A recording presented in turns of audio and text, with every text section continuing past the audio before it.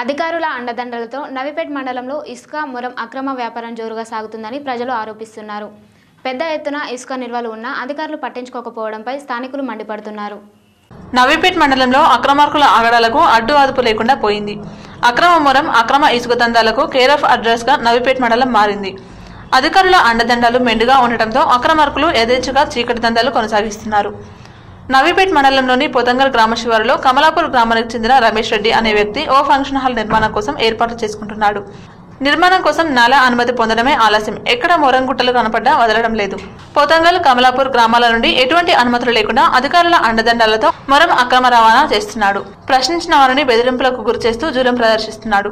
మామూలకు అలవాటు పడ్డ అధికారుల అండదండాలు మెండుగా ఉండటంతో ఇప్పుడు తాజాగా అక్రమ ఇసుక రవాణా సైతం కొనసాగిస్తున్నాడు.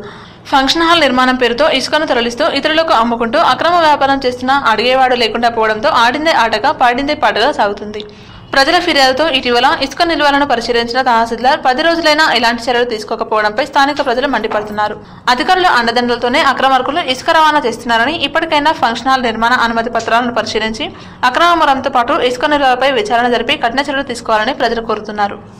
కళ్యాణ మండపం పేరు పెట్టుకొని ఏ పర్మిషన్ లేకుండా వేయిల ట్రిప్పులు మొరము దవ్వుకొని గుట్టలకు అధికారులు కూడా పట్టించుకోకుండా అదేవిధంగా ఈ ఏ పర్మిషన్ లేకుండా ఇసుక డంప్ చేసి ఏబీ ఏదో ఏబీలు పెట్టుకొని నిజామాబాద్ ఏబీలో ఆ ఏబీలో పెట్టుకొని నవీపేట మండల్ పోతంగల్ శివారులోని కళ్యాణ మండపం దగ్గర పని చేస్తున్నామని చెప్పేసి ఆక్రమంగా ఇస్- ఇసుక స్టాక్ చేసుకొని నైటా నైటు వేరే రకంగా వేరే కూడా తరలించడం జరుగుతుంది.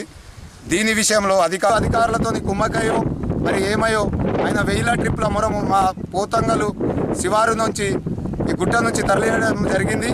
అది అయితే పక్కన పెట్టేసి ఇప్పుడు కూడా అదే విధంగా అధికారుల కుమ్మకయ్య మరి ఏమయో మరి ఆ ఇసుక స్టాక్ చేసుకొని కళ్యాణ మండపం కడతా కళ్యాణ మండపం కడతా అని చెప్పుకుంటా స్టాక్ చేసుకొని నైటా నైట్ వేరే రకంగా బయట అమ్ముకోవడం జరుగుతుంది. ఈ విషయానికి అధికారులు స్పందించి చర్యలు తీసుకోవాలని చెప్పేసి కోరు